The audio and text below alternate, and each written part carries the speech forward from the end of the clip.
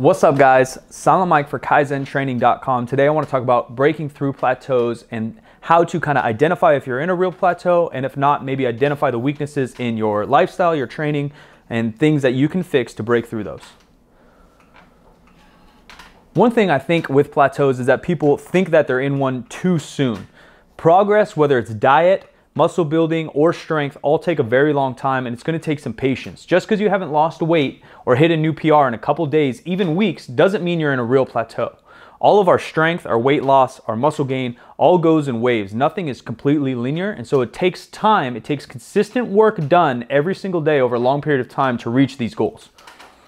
The more advanced you get, the more you've been lifting, the longer you've been doing this, the harder it becomes. In the very beginning, if you've just started dieting, you may drop a couple pounds in a couple days. Or when you just start bench pressing, you're going to hit new PRs and lift more weight every single day, if not every single week. But once you start doing it for months and months, let alone years and years, the progress slows, which is totally normal and totally different than a real plateau. A couple things we need to really look at when we're getting into if we've actually plateaued and how to overcome those. Number one would probably be our recovery. Now, recovery is a huge buzzword all over the Instagram, all over YouTube, talking about foam rollers and different tanks to sleep in and different oxygen masks to use. And that's not what I'm talking about. If, if those work at all, those are 0.001% of our actual recovery. When I'm talking about recovery, I'm talking about adequate sleep, adequate calories, and adequate hydration. Sleep, yes, it is dependent on the individual and how much sleep you need to fully recover, but the more sleep, the better. Eight plus hours for every active individual with low stress, dark room, cold room, comfortable deep sleep is going to help you recover more than any supplement or any gimmick out there.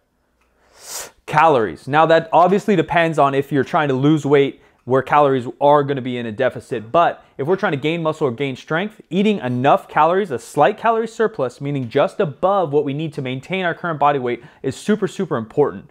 Adequate protein is also very important. Averaging about one gram per pound of body weight that you weigh or lean pound of body mass. And that just doesn't mean every once in a while or every other day. That means hitting your calories and sleep consistently every single day. If you're on kind of a three day on and then you're up till 2 a.m. and you're not eating enough the next day off and here and there, it's not going to be consistent enough for you to recover. You're adding a lot of stimulus and stress to your body lifting these heavy weights and training so hard. We need adequate recovery in form of calories and sleep. Hydration is a very common topic as well with sodium and all these different drinks you can buy at the stores and gas stations. Just try to get enough water in that you're feeling good every day. If that's eight cups or about an ounce per half your pounds, or that's about an ounce for about half what you weigh in pounds. So I weigh about 200 pounds. If I can get 100 ounces of water or more a day, I'll be set. And again, that's consistent. That's not 200 ounces one day and then none the next day. It's about 100 or whatever the common goal is. What do people say? Eight cups a day consistently every single day long term, week after week, month after month, year after year. It's gonna take consistently chipping away to get better at these things. Next, what we'll have to look to is if we're plateauing in a strength manner or even a muscle building manner, is our lift itself and our technique in the lift. Now, when we're lifting day in and day out, working hard, just because you're lifting more weight or you're doing more reps doesn't mean that you're necessarily pro progressively overloading.